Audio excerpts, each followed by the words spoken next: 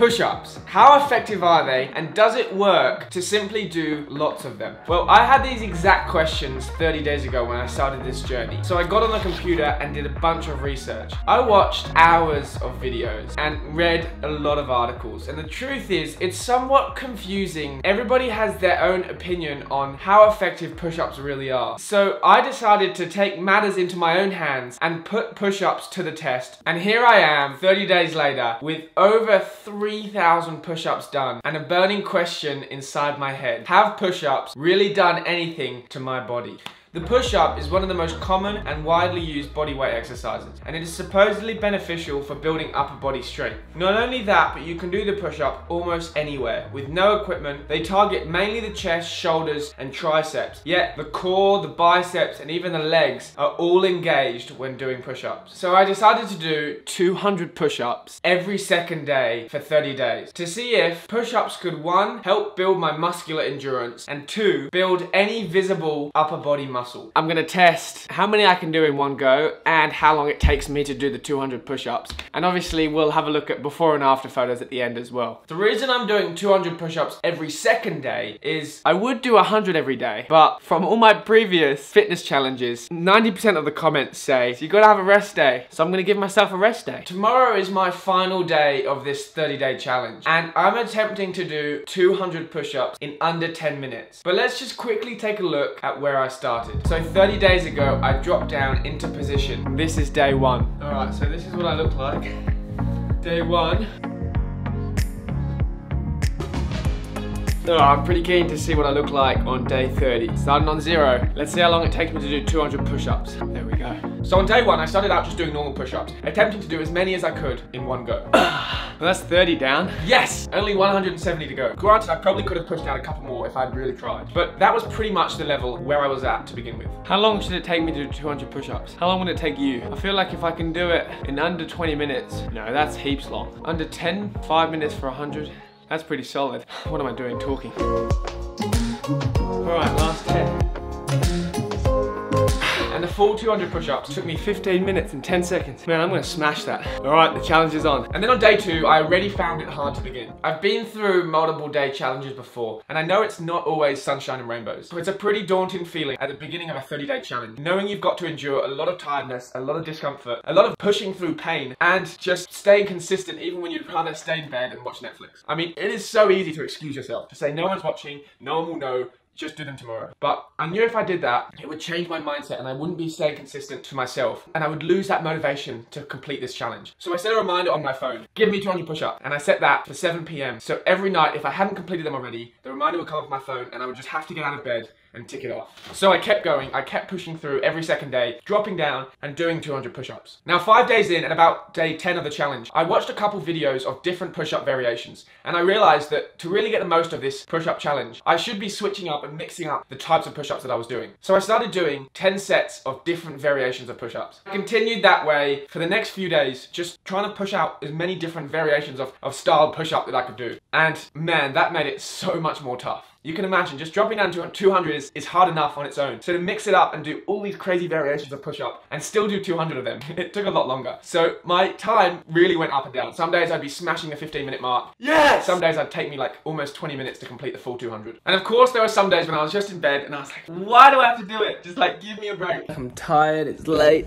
But are you guys 200 push-ups? I owe myself 200 push-ups. All right, let's get it done. I managed to kind of roll out of bed and my mindset that I would have is, just give me five, Laurie. Just start with five push-ups. And when I had that mindset where it's only five, I can do five, no worries. As soon as I did those five, I'm like, okay, another five, give me 10, give me 20. And it would just like build it up. So I'd have that bit by bit mindset, give me five. And once I've done five, it's easy to do 10. And then it's just on a roll. And I kept going. In that way, I, I managed to stick with it and, and just keep pushing out 200 every second day. Another 200.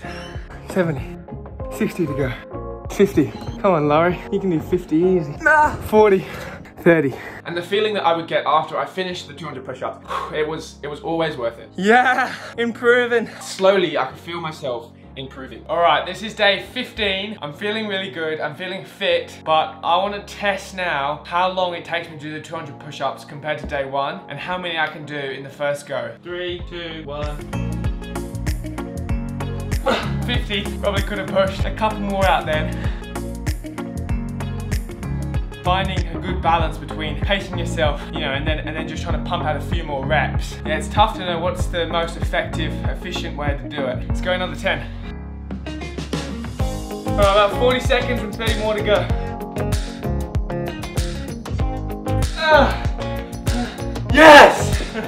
I'm improving. Oh man, that feels good. Finally, after 30 days of pushing through the discomfort of doing 200 push-ups, I arrived at day 30. Tomorrow is the last day and I'm ready for it. I'm ready for war. I wanna see if I can push out my full 200 push-ups in under 10 minutes, which I have not done yet. I've got damn close, 10 minutes and 35 seconds, but I still haven't managed to bloody smash the 10 minute mark, and I'm really hoping I can, because that was my main goal.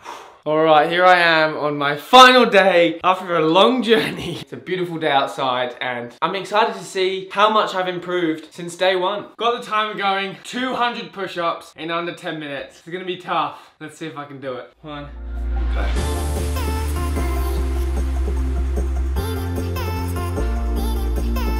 Ah, yes! 70. Okay, on guitar.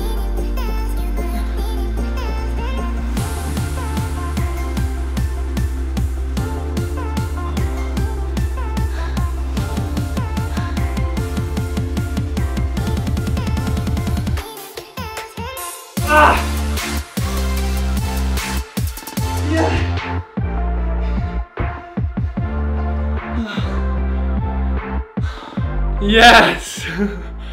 Oh, that makes me so happy. Finally, after 30 days, 9 minutes, 18 seconds for 200 push-ups. Maybe my push-ups weren't ideal form, but I do think they're probably similar form to how I did them on day one. So I'm still pretty happy with that because day one takes me over 15 minutes and day 30, 9 minutes and 20 seconds. Yes! I've been wishing for this day for so long. I tell you, I haven't been able to do it. That's the first time I've ever done that. That feels so good. So I guess now it's time for the before and after photos to see if I look any different to day one. All right, here we go. Over 3,000 push-ups later, this is what I look like now.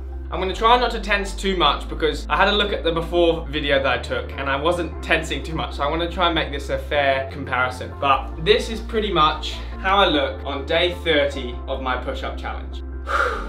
I mean, if you look at that, it looks pretty much the exact same. So I'm sorry if that's a little disappointing, but I'm just, yeah, trying to be honest with you guys. If you look closely, I think there's a small difference, and I definitely feel a bit more toned, but yeah, definitely not a big difference between day one and day 30. I mean, it's hard to tell. Normally, these things can be quite minuscule, the difference, so it's not always super visible, but I definitely feel good, and I feel fitter than I did 30 days ago. I managed to increase my first set of push-ups to doing 70 and I managed to drop my time down to 9 minutes and 20 seconds. Not only that, but I can now complete the full Bring Sally Up challenge. Oh. Yes! Yes! Good boy. Dude, I just got it. Oh, it feels good.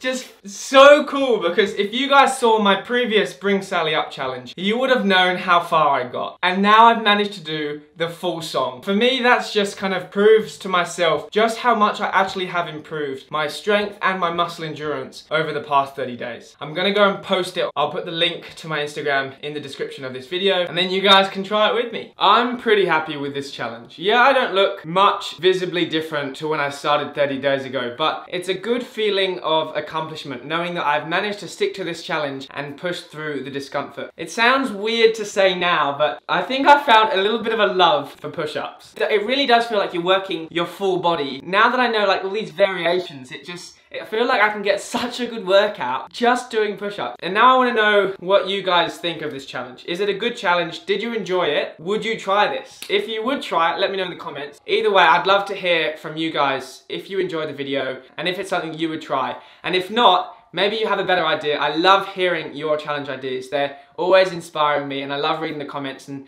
seeing what you guys have to say. So as always, thank you so much for all your support and I'll see you next week. Thank you